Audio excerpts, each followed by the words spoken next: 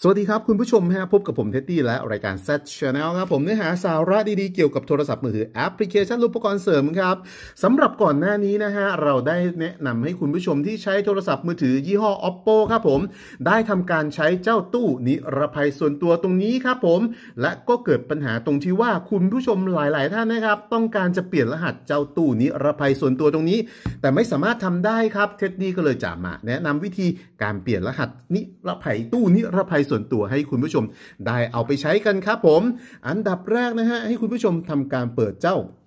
ตู้นิรภัยส่วนตัวตรงนี้ขึ้นมาก่อนครับ เมื่อเปิดขึ้นมานะฮะโดยปกตินะครับผมหากว่าเราลืมรหัสผ่านหรืออะไรพวกนี้ฮะเขาก็จะให้เรา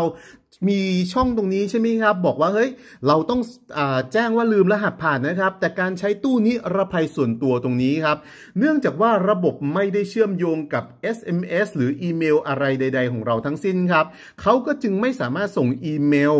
หรือว่า SMS รหัสผ่านมาให้กับเราได้ครับ วิธีที่เราจะเปลี่ยนรหัสผ่านได้ มีอยู่วิธีเดียวครับ นั่นก็คือใส่รหัสให้มันผิดครับถูกต้องนะครับคุณผู้ชม ใส่รหัสให้มันผิดครับ เช่นเราใส่รหัสไปเลยครับ 1 2 3 4 5 6 แบบนี้ฮะหลังจากเราใส่รหัสผิดครั้งแรกนะครับเขาก็จะขึ้นมาบอกเราว่าเฮ้ยรหัสแกไม่ถูกต้องนะจ๊ะ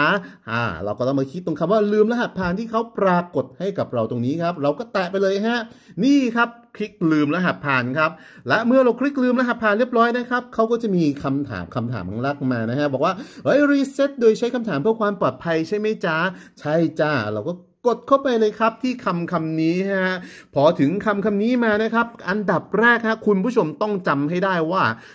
คำถามที่คุณผู้ชมตั้งไว้ฮะถามว่าอะไรครับ ซึ่งคำถามนั้นนะครับในส่วนของผมเขาจะถามว่า พ่องแกชื่ออะไรจ้าโอเคฮะผมก็คงไม่ลืมนะฮะว่าพ่อผมชื่ออะไรนะครับผมซึ่งคำถามตรงนี้นะฮะก็จะมีหลายคำถามมีประมาณ4ี่ห้าคำถาม เช่นเอ่อคุณเกิดที่จังหวัดอะไรเรียนจบที่โรงเรียนอะไรแบบนั้นนะครับ มันก็ง่ายๆฮะและนอกเหนือจากนี้ครับเขาก็ยังอนุญาตให้คุณผู้ชมตอบคำถามด้วยตั้งคำถามได้ด้วยตัวเองได้อีกต่างหากนะฮะเช่นตรงนี้เขาถามามว่าผม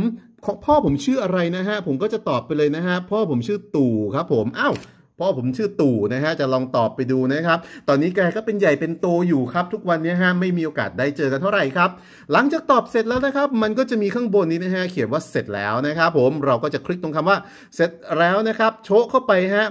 ในเมื่อพ่อผมไม่ได้ชื่อตู่นะครับเขาก็เลยบอกว่าเฮ้ยคำตอบของแกมันไม่ถูกต้องบทลองอเกนจ้าแบบนี้นะฮะโอเคอะทีนี้เราก็จะใส่ชื่อพ่อเราจริง ๆ เข้าไปแล้วนะครับ คุณผู้ชมครับ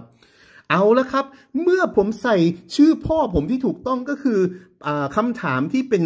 คำถามลับแล้วกันนะฮะเรียกว่าคำถามลับแล้วกันเนาะเขาก็จะให้เราตั้งรหัสใหม่ขึ้นมาเลยครับ หลังจากตรงนี้เนาะเราก็ตั้งไปเลยฮะคุณผู้ชมครับ 1 2 3 4 5 6ฮะเลขตัวแรกที่เราต้องการใช้ครับ ซึ่งตรงนี้เขาจะบอกว่ารหัสพาณิธรรมดาเกินไปยังต้องการใช้หรือไม่ฮะเราก็บอกเฮ้ยใช้จ้าฉันยืนยันฉันความจำสั้น